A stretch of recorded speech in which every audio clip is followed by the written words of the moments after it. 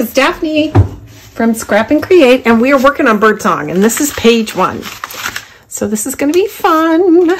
And I noticed I got in here without my tape, but I think I already got it on. So you're going to start, these are two pockets that are going to go on top. You're going to start with two flaps, and these are um, 8 and 3 eighths by 8 inches tall, 8 and 3 eighths by 8. You're going to score it half inch and four and a half inches.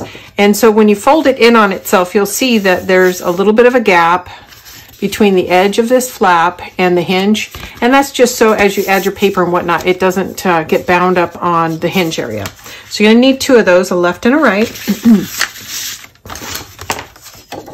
and I'm going to dry fit that. It's going on a pocket page. This is an eight by eight pocket page.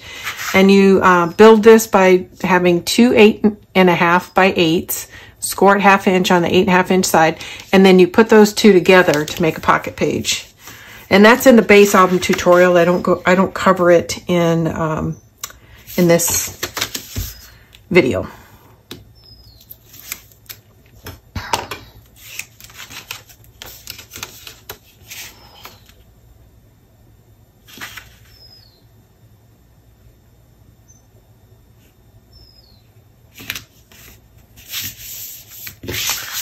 Okay.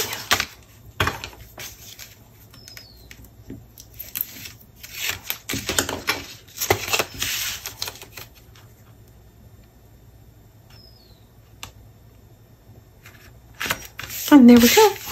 So these are going to open out and out. And then on top of this, we're going to have these two pockets. They're actually not a full pocket. They're going to come across as a triangle.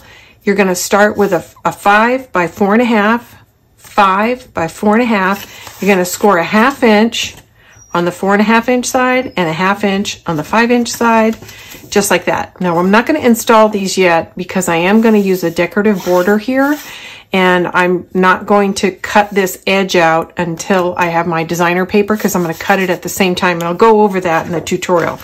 But um, for planning purposes, go ahead and cut a five by four and a half and then score on those two sides and set it aside. When we add the decorative, decorative paper, we will add a fancy edge and I will go over that as we get a little closer. It's too hard to do that once you lay these down. Okay, that is it for page one. Hey everybody, it's Daphne from Scrap N Create and I want to show you um, where I'm at on page one. So one of the things I want to do is a decorative edge on this diagonal pocket. So I already pre-cut one so you could see what I've done and I'm going to show you how I achieved this on the left side. So first of all, we started with and I, I taped everything down so I wouldn't misplace it. So I'm going to un untape it because I'm to show you the whole process. So we started with these um, five by four and a half. You're going to score those two sides. So then the next thing I did is I cut the piece of paper that I want to lay on here. Now I use a 1 16th inch border. So it is 1 8th inch narrower and 1 8th inch uh, shorter and then centered you get a 16th inch border. So depending on what size border you want, go ahead and trim your decorator paper down an eighth inch, smaller, quarter inch, whichever, whatever your preference is. Once you've done that, test it. And I see that's what I want. So now I'm going to do my decorative edge. So to get a perfectly matted decorative edge, you're going to push your paper flush to the top and to the edge, the open, what are going to be the two open edges of this diagonal pocket and secure them in place. So you can see it's pushed all the way up to that corner. I'm going to keep checking to make sure I stay in frame.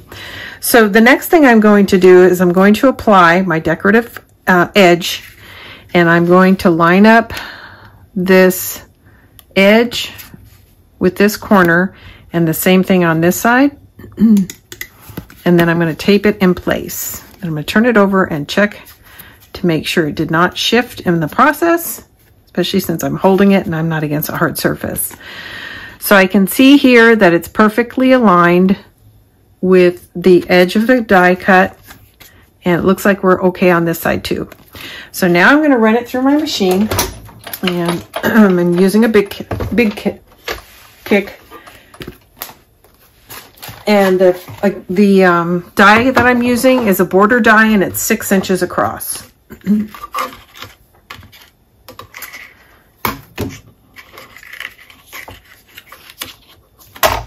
So at this point, I would recommend opening your flanges because it'll just go through the trimmer easier. Otherwise, it's going to keep the two edges elevated and it might not cut all the way through the cardstock.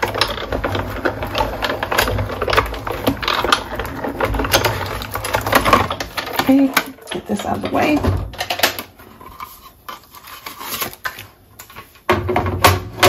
Okay, now as I remove the die,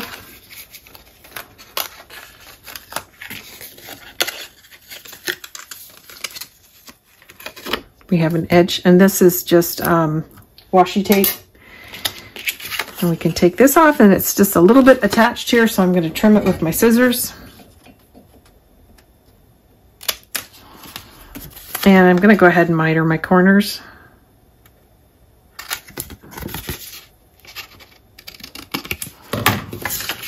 And now when I apply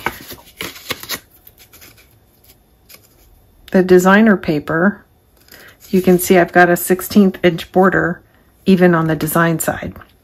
So if you don't have um, a die cut machine and uh, dies, the other thing you can do is you can create a template. So you can make a swerve and you would do the same process where you trim down this piece to the border you want.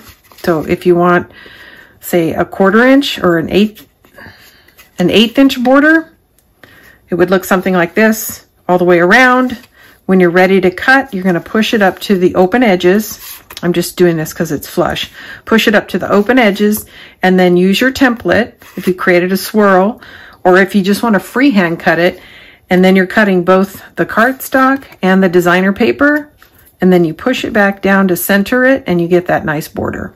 So you can either create um, a template or what I've done in previous videos when I didn't want to use my die cut machine because I was too lazy to get it out. So what it boils down to is I just cut a diagonal. So I just went from the edge of the four and a half inch side up to the five inch side and just cut a straight line. But again, make sure you're pushing your paper all the way up to the open edges on, on um, the cardstock before you do that. And that should give you a beautiful border. So that's my tip for this. And I also have a tutorial that shows how to do this. And it's just a, you know, five or six minute video that just shows how to, how to use edge border dies. So that's it. I'm getting um, the rest of my papers lined up. So we'll start gluing this stuff down in just a minute or taping it down. Bye. Okay, everyone, we're on page one and we are getting ready to decorate. So the two um, diagonal pockets that I asked you to set aside earlier, we are going to apply to the page now. So I've marked right and left. So they're going to go right on top of the left and right flap like so. And I I saw this earlier. I don't know. There um I had actually used that die the last time I used the die I was cutting um, a metallic paper and it and it left a little trace of it behind that I have to keep flicking off, but I think that's that's gonna do it. Oh, yeah, yeah. So it's kind of weird, but anyway, um, so that these are you can see a little bit of it down here too.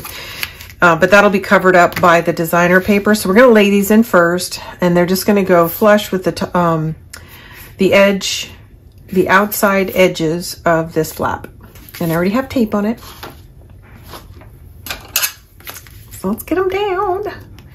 And these flaps are going to be, this diagonal pocket is going to be used. We're going to have an insert in it, and that's what's going to hold everything closed when, um, when this page is done. We're not going to use any magnets on it.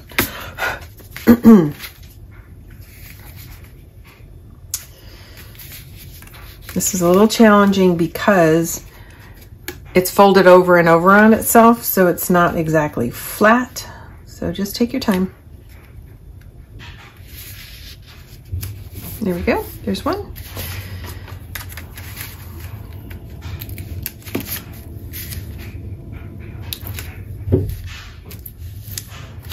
I like this. Um, I like to come up with new ideas where um, I can keep some of the features closed without a magnet. It doesn't always work out, but it's nice to, uh, to have that sort of variety. Okay, here we go. You can still see traces of that.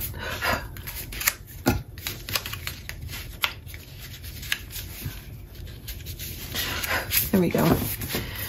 Okay, so uh, I chose these stripes to go right here. And I think that's gonna look lovely.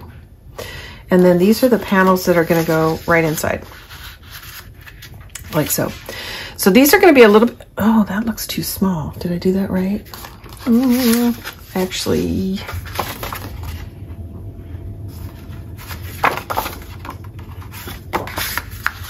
I think I over trimmed this. Oh, I hope not. But I might have. Yeah, see that's too much of a border. I over trimmed it, so I might have to recut this. Um, it's funny because I got one right and one wrong. That's weird. Very strange, but definitely solvable. So this is from the 8x8 collection pack, which means I have more of it, which is nice. Um, so because I've over trimmed this, I'm going to set it aside and I am going to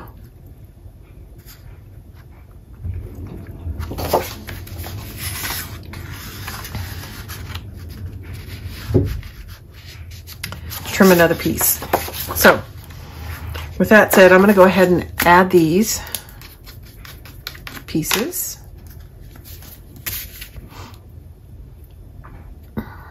And so I'm gonna, anything that fits, I'm gonna go ahead and glue down and then we'll come back to that piece that needs to be retrimmed. And I can definitely use that piece um, and I'll show you why in, in a minute.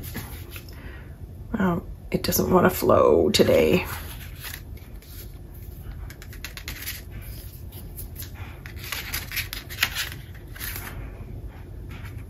I'm getting to the end of the bottle so I can, it's always a little bit thicker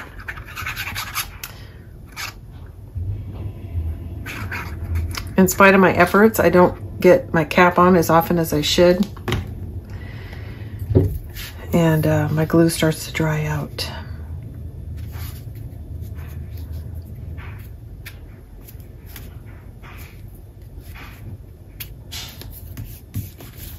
There we go.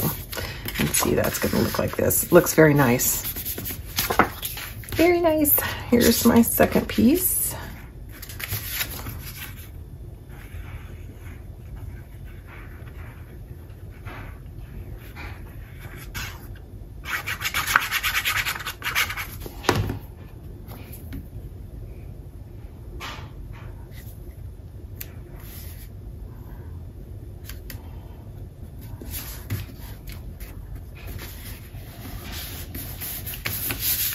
All right.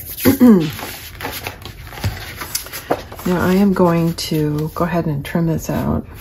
So what I was going to say is the one that I've over trimmed, which is this one, I can use the, the other side, the back side, because the panel, this panel is narrower. And it looks like that's what I trimmed it down for instead of for the front. So this, um, the second uh, hinge on this flap is an eighth inch smaller than the top. So I can definitely repurpose this. So definitely won't go to waste. But I am going to go ahead and retrim the whole thing out from this 8x8 because I want the pattern to be continuous. So I'm going to trim it here and then I'll go over here and trim it this way. Because when it's closed, I want you to see this whole pattern in its continuous state. And I'm going to use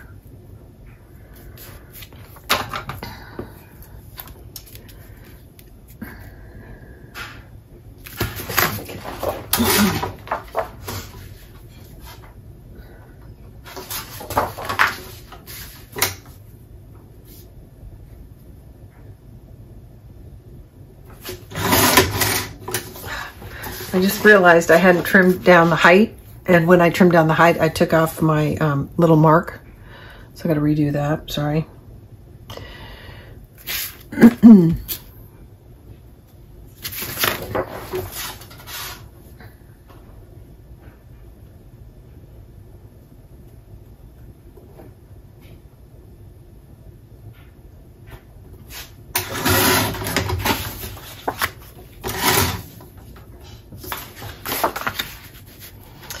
Now I want this to be continuous pattern, so I'm not going to trim from this side. I'm going to trim from this side.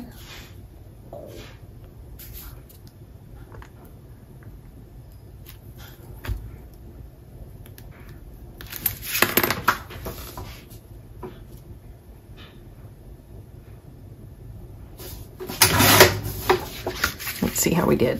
Hmm. I can go a little more.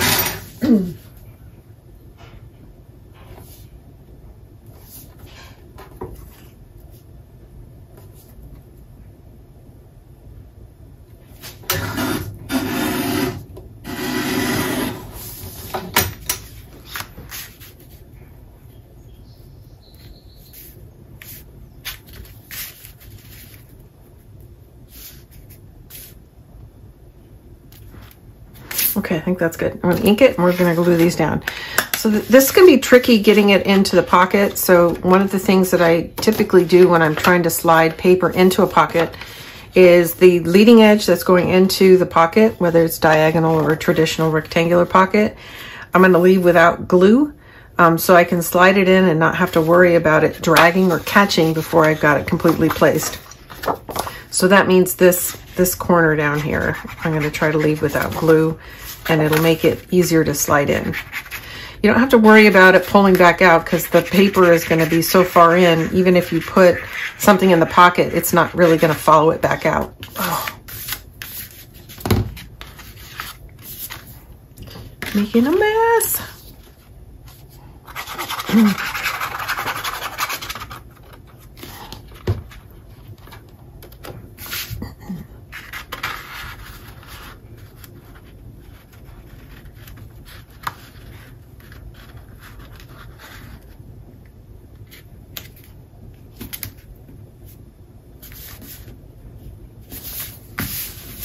There we go. Looks pretty good. Okay, I'm gonna slip this in. Make sure it's trimmed out right. and it needs to be trimmed just a little bit more. So I'm gonna take, oh gosh, I don't know. It's not much. Took this much off. however much this is. Not much.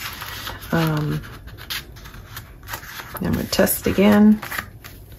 I think that'll do it. Yep, that looks perfect. So now we ink the edges and glue this down.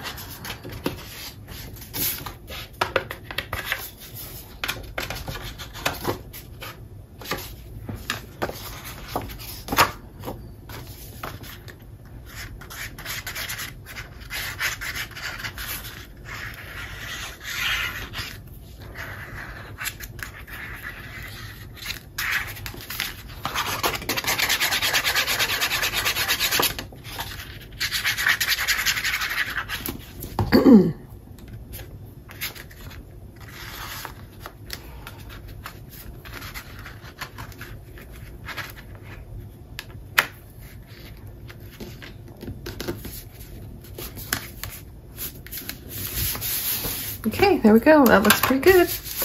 And you can see how the pattern's carrying across, which I think looks lovely. I'm just gonna use my bone folder to make sure everything is pushed into place. Okay, now we're ready to start on the inside. So I've chosen this, and it's from the 8x8 collection. So again, the, the this is from 8x8. I can't remember what this is from. This is also from the 8x8. Right? It's the same scale, yeah. So the stripes are from the 8x8, and this is from the 8x8, and this is the signature page of the 8x8, and it's going to be the centerpiece here.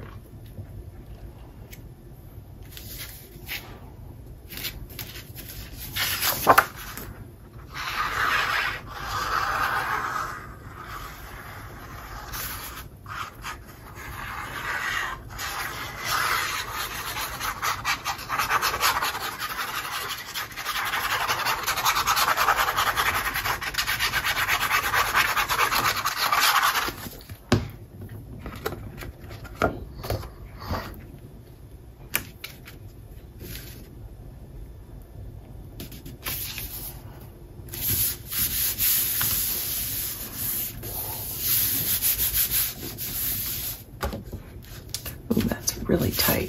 I'm really close to my hinge here. It still closes, but it's very tight. Okay, so the next thing is we have these lovely feathers. Actually, I think this is what I had planned. Let's see if I got them cut right. Yeah, these are actually supposed to go on the smaller flap.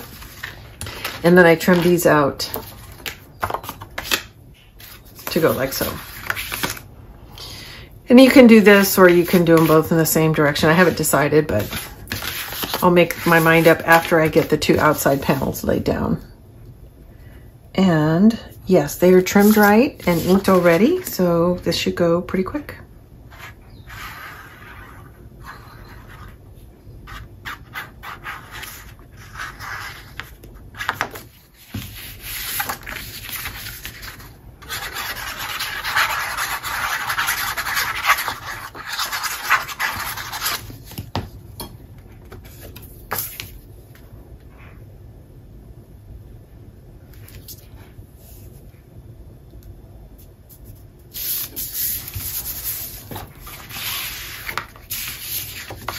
Dry fit.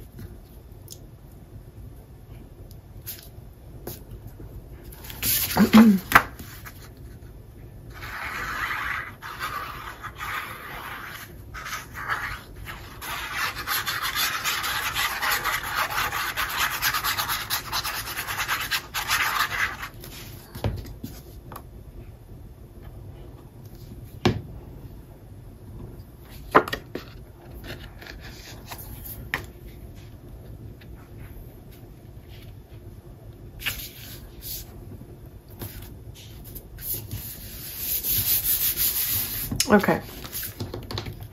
Now here we go. We've got these four pieces.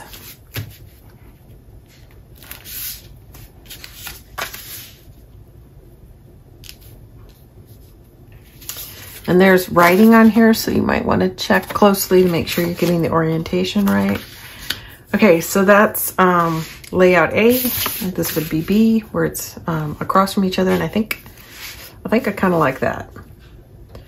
So we're going to color block these and I'm going to lay down the feathers first and then we're going to trim down this piece uh, if required. It looks like it might fit just, just right, but if not, we'll trim down the blue piece um, if it needs a little bit taken off. But it looks like they're both perfect. So again, we start with the, the feathers. And honestly, I don't know what this, what this is from. I have to look.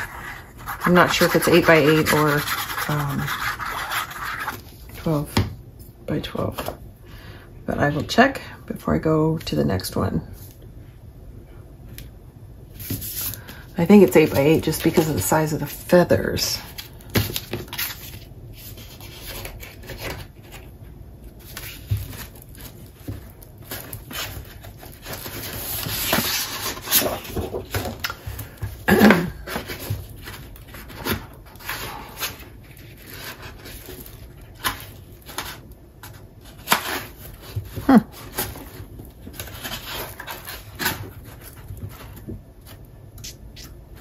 Well, that's weird.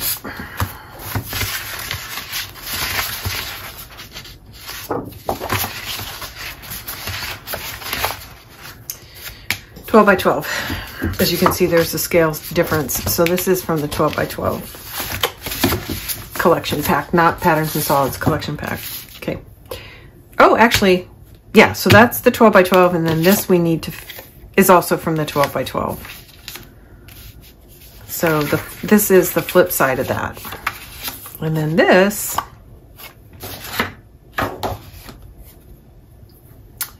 is from the patterns and solids. So the 12 by 12 patterns and solids. Okay, there we go. So patterns and solids, 12 by 12, 12 by 12 collection pack. And then the centerpiece is 8 by 8.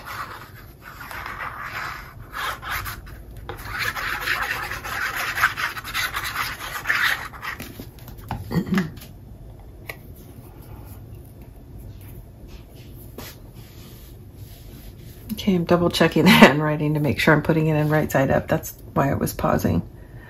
Sometimes the um, handwriting is, it's hard to detect. Okay, beautiful. Let's see if I need to do any trimming here. And can you believe that? I didn't even plan this. It's shocking to me, but it's working out perfect. Yep, ready to go.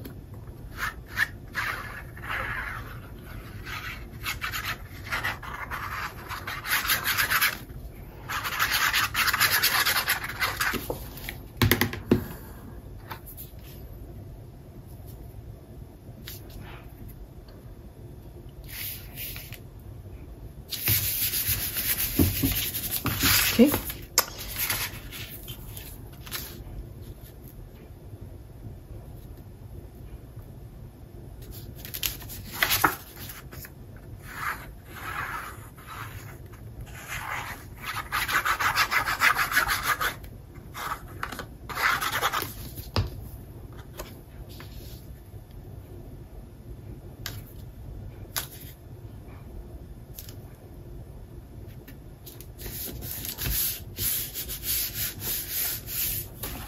Okay, so we still need these two panels covered and I think I trimmed out a couple pieces, but I don't see them.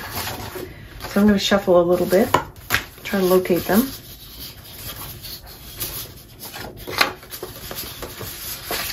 Okay, I'm gonna pause. I'll be right back with these two pieces. Okay, I've got these papers trimmed out for the last part of page one.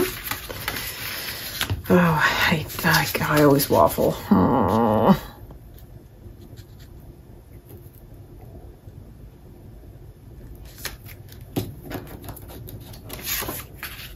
I'm gonna, do, I'm try something real quick. What do I think about adding a strip here and here? Kind of like it. Maybe I'll do that. Um, let's see. Or the alternate would be the heavy pattern with a solid strip.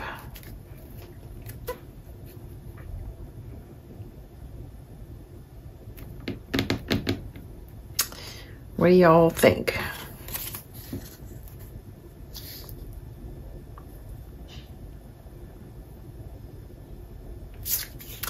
I think, I think, I think. Oh, so hard. I think I'll go with the dark side up and then add some embellishment. And that's what I'm going with.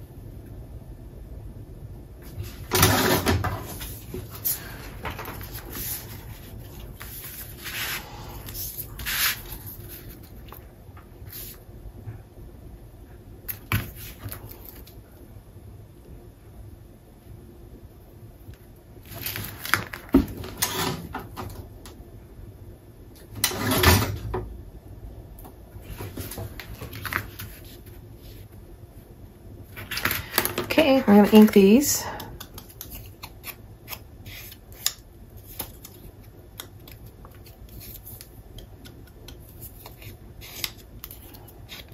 And I don't think I've mentioned it, but I am using Powder Puff Mahogany, which is my favorite.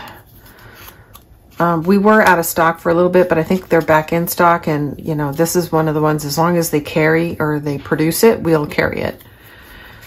Every couple of years, they go through and um, change their colors. And they'll always have a dark brown. And I usually go for the, the darkest one they have. Um, but they, like the last time it was espresso, now it's mahogany. It may change to something else at some point. But when it does, I'll let you know and um, I'll mention it in the video. So I think I'm going to do like an offset, so a top and a bottom. So the other one alternative would be um, a center line, which also looks good. What do you guys think? I'm listening. I can't hear you. There's some glue there.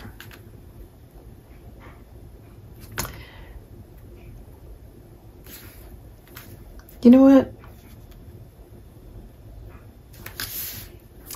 I think I want to do down here. So I want to come up about an inch. And this ruler is an inch and a quarter. So let's see how that looks.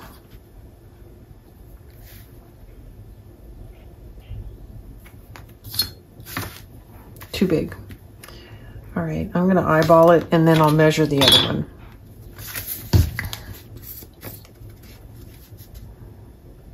I'm going with the bottom because when you open it up, I just want to let you guys know what my design decision is. We've already split these this panel in half. So I don't know if I want to continue that pattern or if I want it to look different. And I think I want it to look different. But it's an easy decision to change if you want. And then the pattern that I'm using is just the flip side of this. So when you cut this out, you, you'll wind up with some trim pieces. So don't cut a special piece. You should be able to find something suitable in your scraps. And I haven't mentioned it, but I will measure this and tell you roughly how wide this strip is. It is a half inch. So if you wanted to do a blue stripe, that would work too. In fact, if you did a blue stripe, you could carry on the stripe all the way across both. This pattern right here.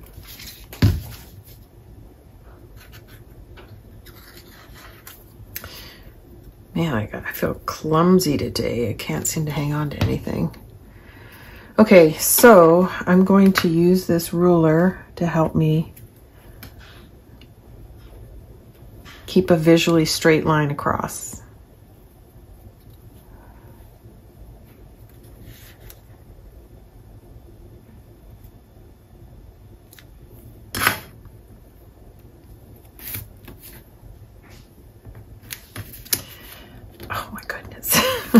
so much for, yeah, it's, fine. It needs to nudge over a little. Yep, good, good. You could also draw a reference line if you wanted. Okay, there we go. That is most of page one. So the next thing we're gonna do is we're gonna, we're going to create an insert that's gonna hold all of this closed. And I think I want a seven by seven. Seven and a half by seven and a half. Let's try that.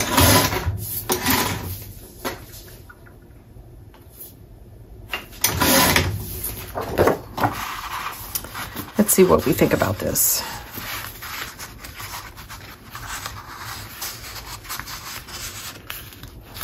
Yeah, so that's going to leave a nice little frame around it. So it is going to be a 7 by 7 I haven't picked my designer paper for this yet. Um, I just want to make sure this is the size I want first. And, and I like that.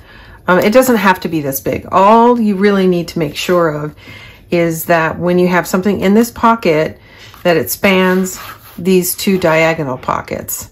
Um, even if it was smaller, and I don't have an example of something smaller handy, um, but it has to go fit between these two, okay? So I need to come up with um, some design paper for this, and then um, when I, once I do, I'll come back and we'll cover this. And uh, that'll be it for page one. So thanks everybody for tuning in. This is Daphne from Scrap N Create. Be back soon with this last piece. Hey everyone, it's Daphne from Scrap N Create, and I went ahead and filled out uh, what is the seven by seven and a half insert that's going to go into page one. And I just did it offline. It's pretty straightforward. Um, what I did was I came down uh, three quarters of an inch and then I cut basically two lines from the 8 by 8 um, collection pack. So this is what's on the flip side. So basically I used the same piece of paper, cut a strip, cut a strip, flipped it over. So you've got the alternate pattern and then the rest of it was used down here. So it'll come from your 8 by 8 collection pack and I made this. So I'm still thinking I might want to do something a little more to give it some pizzazz, but I don't know what yet. And you'll have to wait and see in the walkthrough reveal. So that's it for page one. Thanks everybody. Be back soon with page two.